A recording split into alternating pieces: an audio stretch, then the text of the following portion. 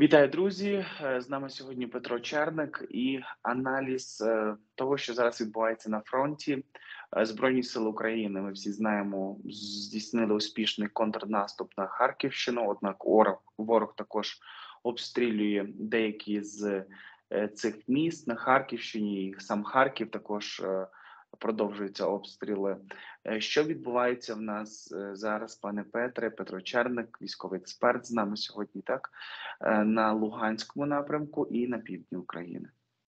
Ну, направду маю всіх нас привітати з геніальною контрнаступальною операцією, яка відбулася по Харківщині. Але разом з тим, бо я от буквально два дні як повернувся з фронту, я не мав можливості коментувати сам хід цієї операції, але перебуваючи там, я відчув колосальний рівень ейфорії українського суспільства, що, от, мовляв, завтра наші прапори замайорять над Луганськом, над Донеччиною, над Херсоном і навіть над Севастополем. Ба навіть такі думки були дуже дуже, я би сказав, е, агресивної частини суспільства, що і до Москви дійдемо. Давайте ми всі різко видихаємо, дуже різко видихаємо. Ейфорія це елемент, котрий це стан, котрий може нас привести до стратегічної поразки.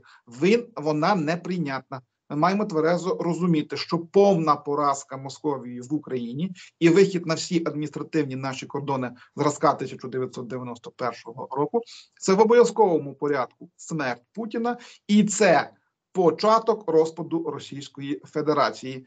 Еліти теперішні цього прийняти не зможуть. Лінія фронту на цю хвилину застабілізувалася по річчі Оскол. Противник окопується на лівому березі, і, на мій погляд, оперативне вікно помаленьку буде закриватися і для нас, і для них, як тільки в межах до місяця півтори часу зайдуть дощі. Нагадаю, що гідрологічна система сходу України вона доволі цікава. Тобто на літо вона стає так званою сухою частиною, що мається на увазі.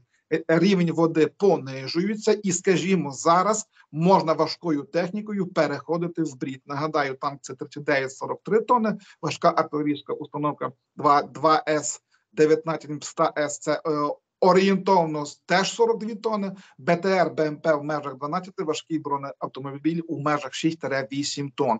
От можна зараз перейти в брід. Як тільки рівень води почне підніматися, доведеться наводити понтонні переправи. Понтонні переправи це дуже зручна артилерійська мішень. Нагадаємо, як ми, українці, розбили їхні понтонні переправи у районі Сєвєродонецька, а саме села Білогорівка, де за один день вони спалили практично повну батальйонну тактичну групу і втратили 73 одиниці техніки. На одному місці 5 разів наводили понтон. Це реальність, яку ми маємо розуміти. Тому вважаю, мій погляд, що на цю хвилину лінія фронту буде стабілізовуватися. Все, що ми зможемо відбити до початку сезону дощів, буде наше. А далі важкі артилерійські дуелі. Я не маю оптимізму, що до нового року повністю вся наша територія буде звільнення.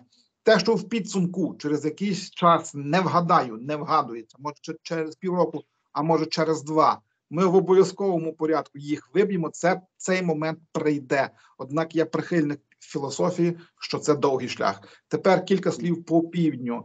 По півдню ситуація коректна. Ми намацали правильний стратегічний момент, який називається закидання логістично-вогневого зашморгу на угруповання на правому березі Херсонщини. Однак нагадаю, це голий степ з величезною мережею річок і каналів, плюс на відміну від східної частини, там відносно стабільний рівень води. Тобто, треба наводити понтонні переправи. Чому понтонна переправа зручна мішень? Я вже пояснив. Тому, на мій погляд, витискання ворога з тамтого плацдарму буде повільним, і це треба розуміти ще раз. Налаштовуємося на довготривалу терплячу війну. Тільки тут лежить філософія нашого успіху. Чи може все обвалитися за один день? Історія знає такі випадки. Режим Ніколая Чаушеску, румунського диктатора, упав за один день в грудні 89-го ранку. Раку рон, господи, не можу сказати ранку. Вийшов на балкон з промовою. До вечора був розстріляний із дружиною. Однак робити ставку на отакий феномен раптовості було було би вершиною немудрості. Московська імперія ще доволі міцна. терпить крах і обсипається, однак, на мій погляд, не буде все різко.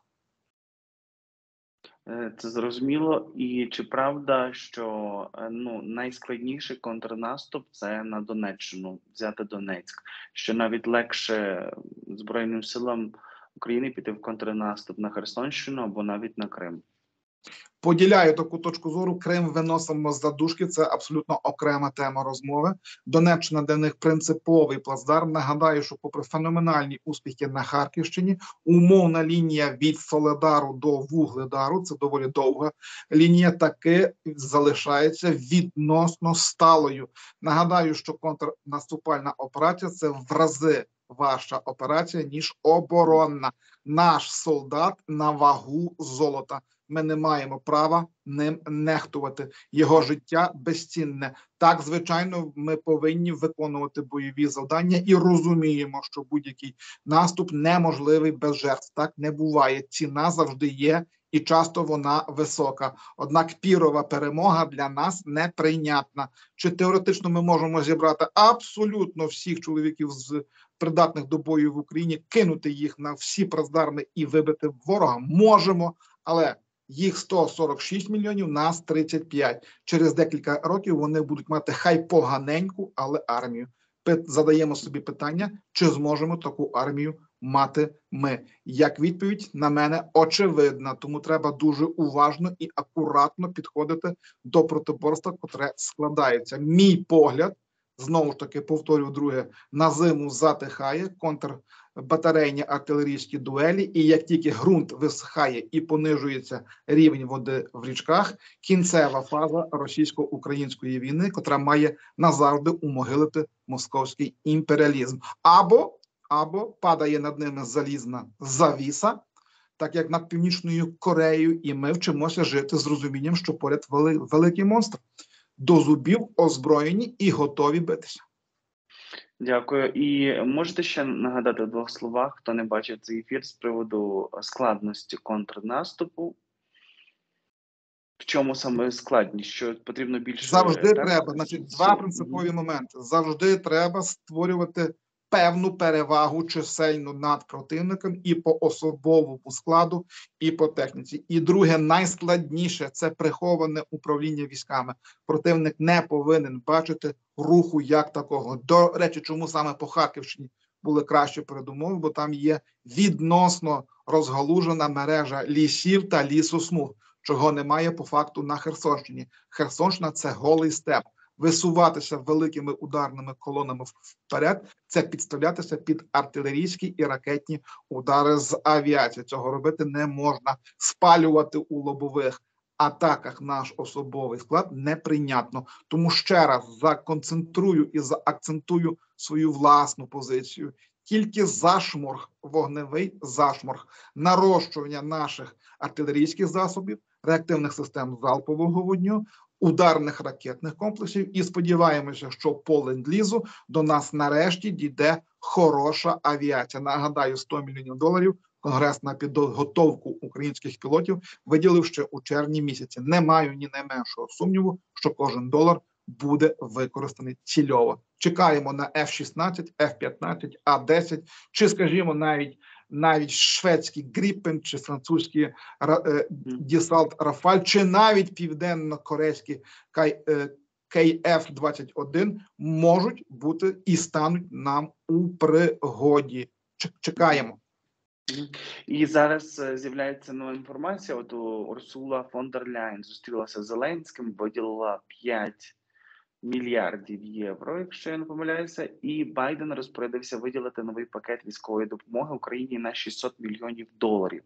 Тобто е, допомога надходить. У мене питання: чи потім потрібно ці гроші повертати Україні, чи це е, чи не треба? І е, от з приводу цієї поставки, тобто контрнаступ відбувається тому, що все-таки надходить багато зброї, правильно чи ні?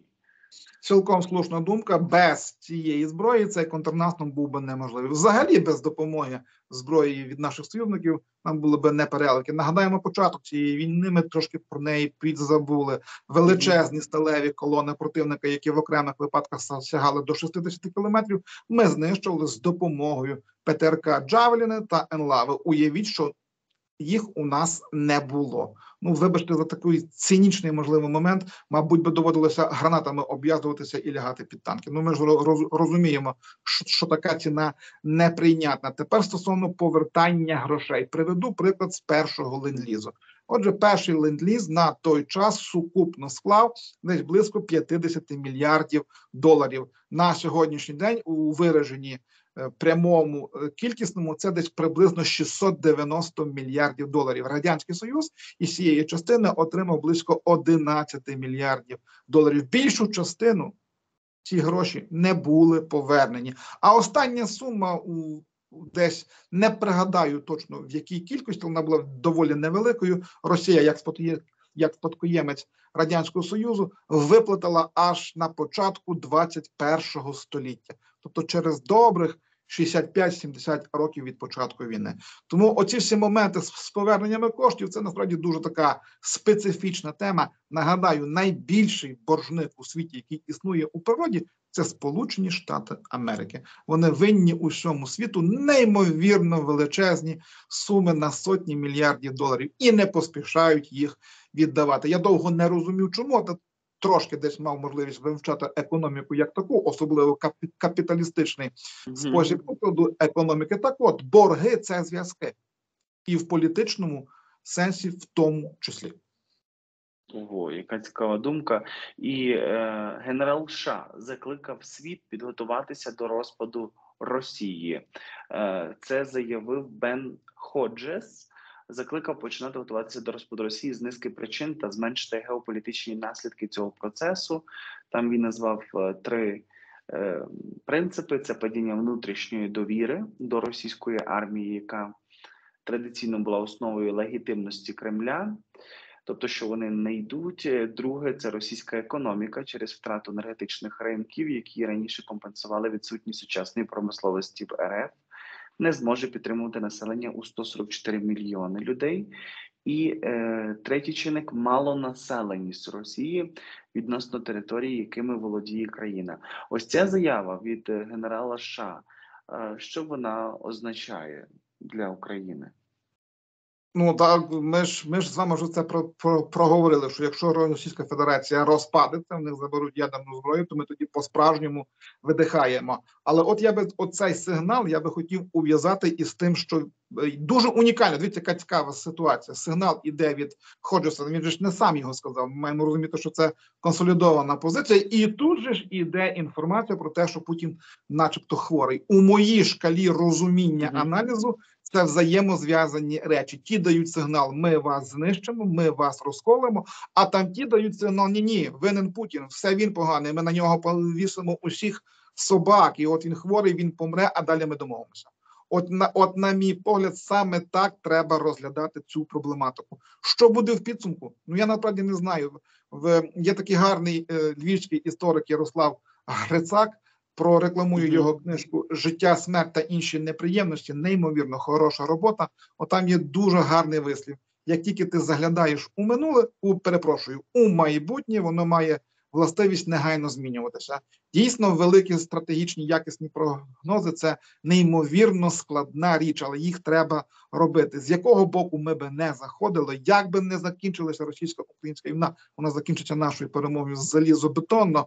У підсумку стратегічному маємо розуміти одне: у нас немає вибору як рух у євроатлантичний простір. Вступ в ЄС і в НАТО є фундаментом нашої безпеки, плюс потужний оборонний комплекс. От як ми ці уроки засвоїмо, ми, наші діти і онуки мають шанс на нормальне заможне життя. Якщо не засвоїмо, вони будуть мати ті самі проблеми, які ми маємо зараз. Карфаген Московський має бути зруйнований, і він буде зруйнований. Однак я не маю оптимізму, що це відбудеться швидко. Це може бути від декількох місяців до декількох десятків років, але це обов'язково буде. Я ще читав одну статтю, чи це була ця стаття, а от е, здається, ця стаття. Е, наша неспроможність підготуватися до останнього розпаду Росії близько 30 років тому на внутрішніх е, проблемах в Російській Федерації ймовірно призвели до президентства Путіна. Ми не можемо ризикувати бути не готовими вдруге. Слушна, робоча, добра думка. Ми не можемо бути вдруге не готовими до протиборства з московським звіром.